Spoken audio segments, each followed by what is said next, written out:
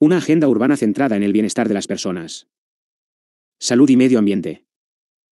Las ciudades deben recuperar el espacio público para los vecinos, naturalizando el urbanismo, mejorando la calidad del aire para garantizar la salud pública, integrando peatonalización y movilidad sostenible y adaptando su fisonomía y sus equipamientos al cambio climático. Debemos garantizar el derecho a vivir en ciudades saludables, libres de la contaminación del aire, de la contaminación lumínica y del ruido, donde medio ambiente y salud sean sinónimos.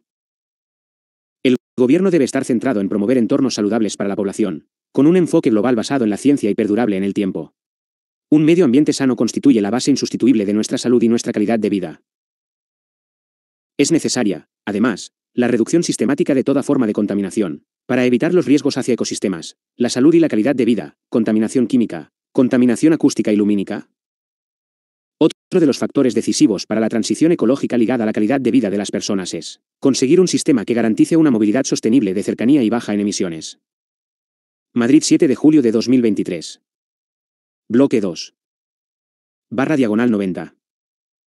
Acompañamos a las ciudades en sus planes de salud y medio ambiente, prestando particular atención a la calidad del aire que respiramos y a la reducción de otros tipos de contaminación, química, acústica y lumínica, para proteger la salud pública y mejorar la calidad de vida.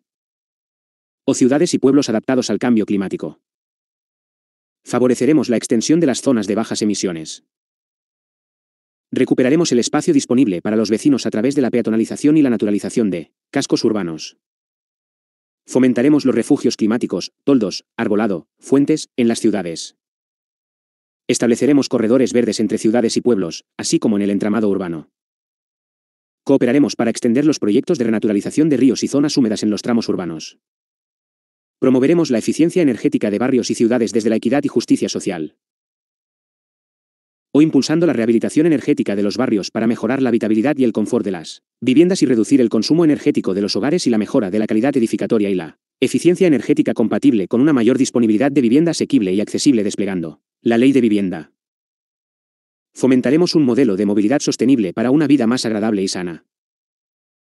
O promoveremos un sistema multimodal de transporte que tenga como columna vertebral el transporte público y los tres modos más sostenibles, peatonal, ciclista y ferroviario o impulsaremos la electrificación del transporte, con especial hincapié en el transporte público y colectivo.